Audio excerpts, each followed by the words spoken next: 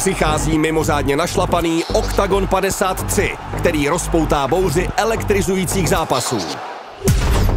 Dva roky neporažená Katarina Dalizda, královna slámové váhy a světová třicítka ve své první obhajobě titulu. Ten si nárokuje světová 42 Eva Durte, která Dalizdu potrápila už v roce 2021. Jak dopadne jejich odveta?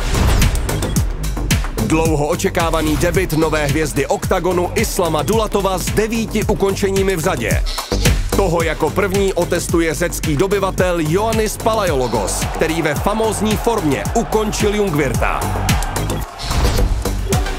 Mistr šílených přestřelek Inquisitor Brož přichází opět kázat pěsti. Tentokrát v souboji s nemilosrdným vikingem Crosbym. Pětka střední váhy Kadževant chce největší skalp kariéry. Davida Zavadu. Ten se do oktagonu vrací se 16 zářezy před limitem a cílem dostat jméno Zavada znovu na vrchol evropského MMA. A také dravý talent Akipa a proti němu jeden z nejzkušenějších bojovníků světa s 1,80 MMA zápasy, Teror Trušček.